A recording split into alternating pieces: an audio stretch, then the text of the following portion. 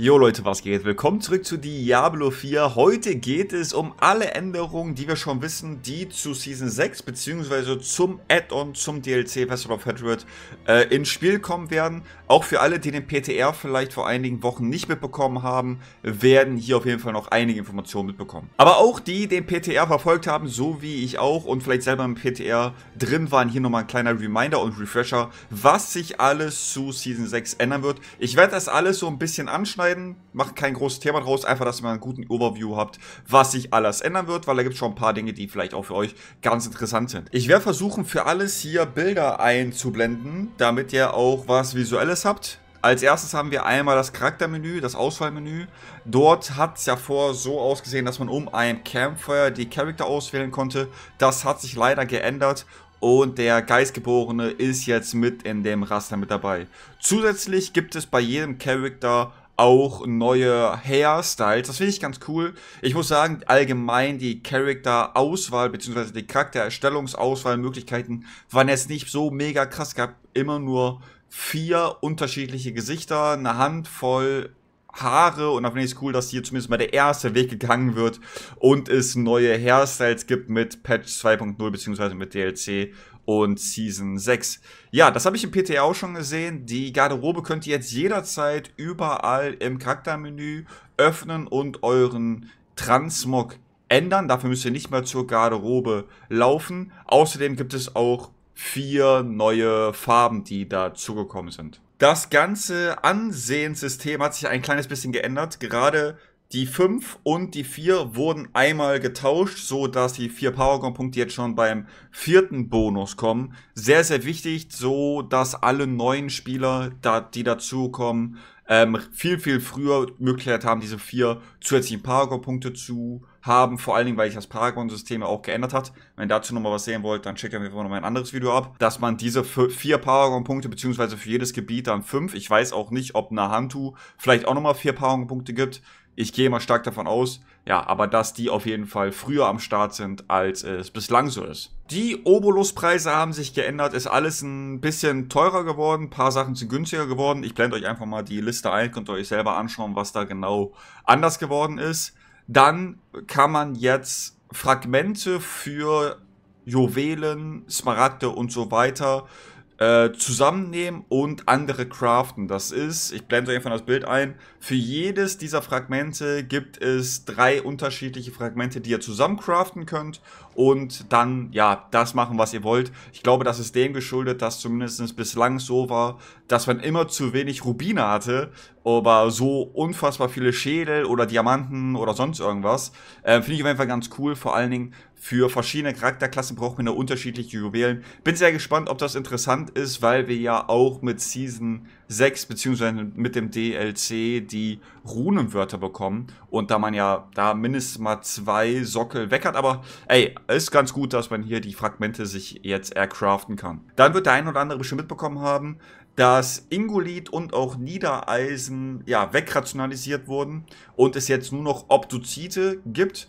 Damit einhergehend haben sich auch die ganzen Preise beim Schmied geändert fürs Vollenden. Ich werde einfach mal hier links die ganze Liste einmal durchjagen. Ich hatte im PTR äh, gemerkt, dass es zum Ende hin schon sehr, sehr teuer wird mit den Optoziten. Nur als Beispiel, das letzte Level kostet 2250 Optozite. Das ist schon eine Menge. Bislang war es so, dass ihr mystische bzw. Uber-Unix beim Alchemisten herstellen konnte. Das ganze System wurde jetzt rüber transferiert zum Schmied macht meiner Meinung nach auch mehr Sinn, weil der Schmied, da macht der eure Uber-Unix auch kaputt. Da macht schon Sinn, dass ihr die da auch craften könnt. Kostet immer noch vier Funken da hat sich nichts geändert. Es kommen ja mit dem DLC auch neue Mounts mit rein und das wird auch für alle Free-to-Play, ich sag mal in Anführungsstrichen Free-to-Play-Leute so sein, wenn ihr äh, ans Mount-Menü geht, beziehungsweise zum Pferdehändler, gibt es zwei neue Möglichkeiten, da Mounts zu nehmen. Das äh, zwei Panzer, äh, Panther, die finde ich eigentlich ganz cool. Bei den grausigen Gaben, wenn ihr die abgebt beim flüsternden Baum, gibt es eine neue Truhe und zwar die, ja, die Goldtruhe. Dort wird es nur Gold rausgeben. Ich weiß weiß leider nicht wie viel, aber es wird dort Gold geben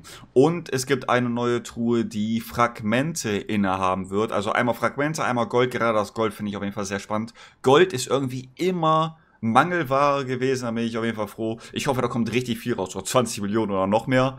Äh, müssen wir uns auf jeden Fall gedulden. Ein Thema, ich glaube, da muss ich ein bisschen mehr zu erzählen, sind die Endbosse. Die ein oder andere hat das vielleicht schon mal mitbekommen, ich hatte das schon mal in einem Video erzählt, aber die Endbosse sind nicht mehr unterteilt in Level. Die ganze Level-System ist ja weggefallen, aber die Bosse werden jetzt immer so stark sein, wie auch die Qual, in der ihr euch befindet. Es gibt ja Qual 1, 2, 3, 4 und erst ab Qual 1 könnt ihr Boss überhaupt herausfordern. Und je nachdem, welche Qualstufe ihr spielt, umso schwerer ist der Boss und umso mehr Loot gibt der Boss auch. Auf Qual 1 gibt er 1 bis 2 Unix, auf Qual 2 2 bis 3, auf Qual 3 3 bis 4 und auf Qual 4 gibt er 5 Unix und noch ein paar anderen Stuff. Und auch auf Qual 4 mit den 5 Unix hat er natürlich auch die höchste Ober-Unix-Chance. Wir haben dazu noch keine harten Facts, aber ich gehe stark davon aus, dass sich da nichts geändert hat und das so ist, wie auch es bisher ist. Und dass jeder Boss eine grundsätzliche Ober-Unix-Chance von 1,5% hat. Das mal 5 sind wir bei den alten 7,5, 7,9, je nachdem, wie ihr das rechnet, ob Stochastik, Wahrscheinlichkeit oder wie auch immer. Aber Irgendwas zwischen 7 und 8 Prozent ist es auf Qual 4 für einen Endboss, für ein Uber-Unit. Eine Sache, die ich ganz cool finde, ist, dass es neue grausige Gabenaufgaben gibt. Unter anderem eine Aufgabe, einen Endboss zu besiegen. Das heißt, zum Beispiel kann auftauchen, ey, du kriegst fünf grausige Gaben, wenn du einmal Warscham besiegst. Finde ich auf jeden Fall sehr cool. Ich denke mal, natürlich macht nur Sinn, dass das ab Qual 1 dann erst kommt. Also alle, die am Anfang sind und noch nicht auf Qual 1 sind, wundert euch nicht, dass ihr diese Aufgabe noch nicht habt. Ihr könnt ihr die Endboss eher als auf Qual 1 herausfordern. Dann hat sich noch ein bisschen was in der Höllenflut getan. Das ist mir auch im PTR schon aufgefallen. Und zwar ist die Truhe weggefallen, wo Stahl drin war. Die gibt es nicht mehr. Es gibt jetzt nur noch eine Truhe, die mysteriöse Truhe, die wir früher auch schon hatten. Und da ist dann das Stahl drin. Ich denke aber auch, dass in allen anderen Truhen, so wie es bislang auch war, immer ein Stahl drin ist.